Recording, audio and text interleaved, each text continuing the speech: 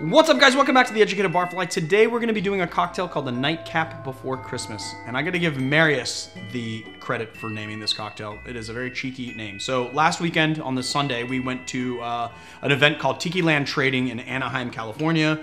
It is a trading post slash like sort of flea market for all things tiki, and uh, we found this awesome Jack Skellington tiki style uh, holiday mug. Um, I was on the lookout for holiday mugs. I really wanted to find like a surfboard Santa or something, and I could not find that there. But uh, we got this lovely mug, so I wanted to use it. Uh, and then we didn't want to let the holidays get away without making a spiked hot chocolate. So I basically we're just making our version of a spiked hot chocolate today. Um, and just if you guys don't know who Jack Skellington is, he's the uh, Pumpkin King in Tim Burton's A Nightmare Before Christmas, who decides to hijack Christmas and kind of put his own spooky Halloween twist on Christmas. It's an awesome movie. If you haven't watched it, go watch it. I love that movie a lot. Um, and hence the mug. All right, so this one's going to be real easy. There's going to be no shaking. There's going to be no stirring. We do have a hot plate here. Uh, we will be making some hot chocolate. So uh, the very first thing we're going to do is put our uh, uh, put our pan on here and then add one and a half cups of whole milk. You want to do this over medium low heat because you do not want to scald the milk. Now, what you want to do is slowly heat the milk, and um, uh, you can bring it to a simmer, but you don't want to bring it to a boil. If you bring it to a boil, it's going to scald the milk. So then what we're going to add to that is some milk chocolate, semi-sweet chocolate. Uh, what do you call these? Nibs? Chocolate nibs? I don't know, drops? Chocolate drops. Okay. We're going to be adding a half a cup right in there. Um, and then obviously you're going to need uh, a bit of a spoon, and you want to kind of keep this moving so that the chocolate doesn't melt onto the bottom of the pan and burn. So this, you have to basically constantly stir this. It's going to take probably about four and a half or five minutes. Depending on how, how uh, cruel Marius wants to be, you'll, you'll either watch me do this for five minutes or he'll cut. But since we don't cut that much in our, uh, in our show, I don't know what Marius is gonna do. I guess we'll see.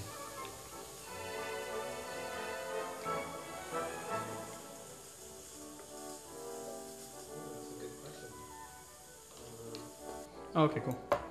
All right, so there we there we have it. We've got our chocolate, nice and we basically made our hot chocolate. It's nice and warm. Uh, what I'm gonna do is actually because this doesn't have a lip and it's gonna spill everywhere. I'm actually just going to add this back into here and kind of get rid of the pan. Uh, I'm gonna put the pan in the sink.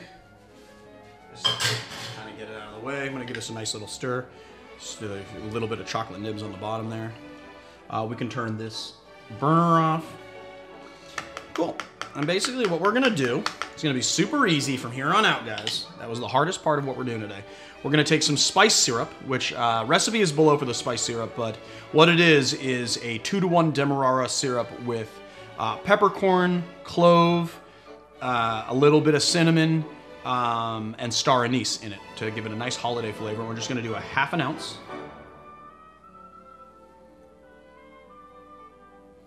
And then we're gonna add two ounces of our um, Lemon Hart Blackpool rum. And then we're just gonna add in, I'm just gonna top it up with our hot chocolate. Now, as with all hot drinks, when you pour a drink into a vessel, you wanna make sure that whatever vessel you're using is completely warm. So what I do is I put my sink to the hottest that it will go, and I run hot water into the sink to heat the glass. I did that um, here. You can't really tell because it's not a glass glass, but uh, you want to make sure that you can uh, that you have a hot glass because if you have a cold glass and you pour hot stuff into a cold glass, the cold glass will actually help it not be warm anymore, and you don't want that for hot chocolate. Um, uh, I'm gonna garnish this, but I, I, think I'm gonna taste it first, and then we can garnish. No? All right. Is gonna be a little bit weird to taste. out. I should have like a straw, but you know, whatever. It's okay. I wonder how many people are gonna be sickened by that sound that I just made. Uh, it's really good. You know, what's really fun? What's really fun about this is that the spice syrup actually plays into the hot chocolate really well. You want to make sure you use semi-sweet chocolate so that you don't make it too hot. Although the type of chocolate that you I said not.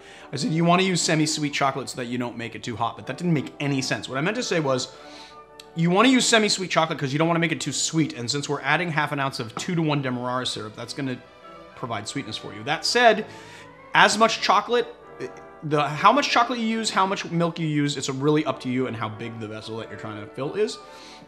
Um, what I like about this particular ratio that I did is that it's nice and chocolatey, but you also taste the the the, the holiday spice syrup to it. So it's kind of like a holiday spiced hot chocolate. Uh, and I think that's all that I have to say about it. There's really not much more that I can say about hot chocolate. Everyone knows what that pretty much tastes like. So there you have it. And so then what I was gonna do here is just, or what I am doing here is just like taking a bunch of marshmallows and putting it on top. I like a lot of marshmallows in mine. And then we're just gonna garnish it with this candy cane, like so. And there you have it. The educated Barflies version of a spiked hot chocolate. It is called the Nightcap Before Christmas. If you like our channel, please hit like and subscribe and check us out on Patreon. We got some amazing exclusive videos on Patreon, so check them out at patreon.com slash educatedbarfly. I promise you will not be upset if you do. Um, this channel is also supported by Stagger Lee Goods, who makes me look good in these awesome aprons. Right now, through the first, they have a discount code. Uh, it's uh, SLG Save 30 at checkout for 30% off. And then also we have uh, support from Surfside Sips, which makes high impact glass straws. We also have a discount code there, Barfly at checkout for 20% off, and that's surfsidesips.com. And then, of course, as ever, uh, we are supported by Barfly Mixology Gear that provides us with all our jiggers and things, uh, and stirring spoons and all our good shakers and all our good stuff. Uh, check them out on the internet and then also uh, on their Instagram page, which you will find through all of our stuff. I will see you guys on another time. Happy holidays, you guys.